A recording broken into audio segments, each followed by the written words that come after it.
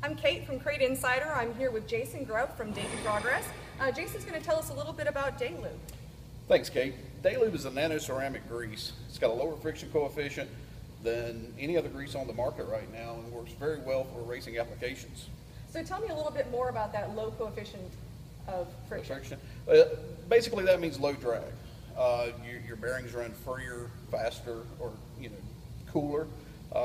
The nano ceramic, the ceramic properties in there actually give you, you know, good thermal protection, and uh, it's extreme pressure protection as well. So that means we'll run a little bit cooler Yes. in those bearings? Yes, uh, anyone who uses this should expect to see their bearings to run cooler, last longer, and have less drag. And what are the areas of your car where you'd use the, the Daylube? Typical applications for Daylube are uh, wheel bearings, drive plates, axle splines, uh, anywhere you would use a number two grease. Great. And how does this come? Uh, Daylube is available in our 16 ounce tube, the 16 ounce jar, and soon to be introduced, we have our one ounce syringe, which is perfect for wheelbarrows. Excellent. And how much can a racer expect to pay?